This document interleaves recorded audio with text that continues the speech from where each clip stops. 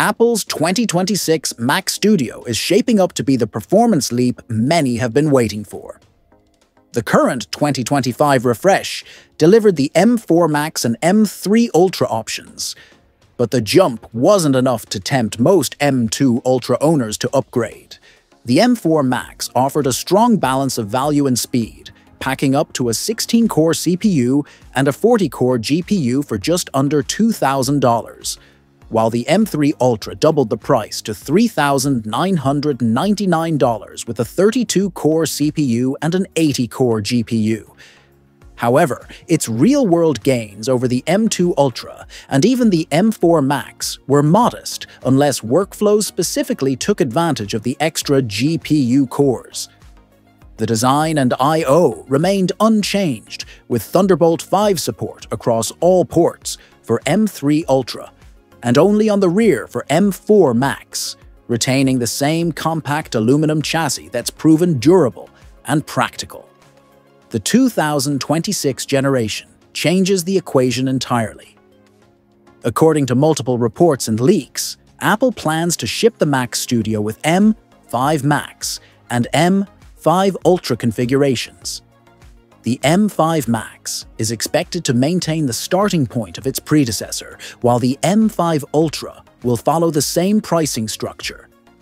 Though potential tariff changes could push costs higher, both models will again offer entry-level versions with binned cores, minimal RAM, and base storage, but the real draw lies in the significant architectural gains – performance projections point to around a 25% overall speed increase for M4 Max to M5 Max transitions, combining CPU, GPU, and neural engine improvements.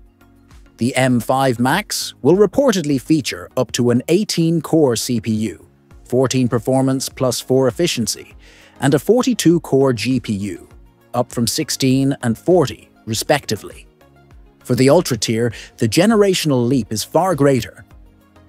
The M5 Ultra skips past the M4 entirely for Ultra buyers, with expected performance gains of roughly 40% over the M3 Ultra and over 50% compared to the M2 Ultra. This configuration could house a 36-core CPU, 28 performance plus 8 efficiency, and an 84-core GPU up from 32 and 80, respectively. It's not just about core counts, clock speeds, architectural efficiency, and improved bandwidth also play a role. The M5 family will likely benefit from the manufacturing and efficiency refinements seen in the M4 generation, but scaled further.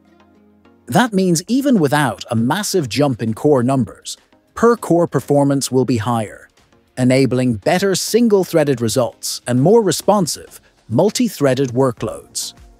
The gains will be especially noticeable for creative professionals, AI model training, and other GPU-intensive tasks, where the new architecture should provide substantial time savings.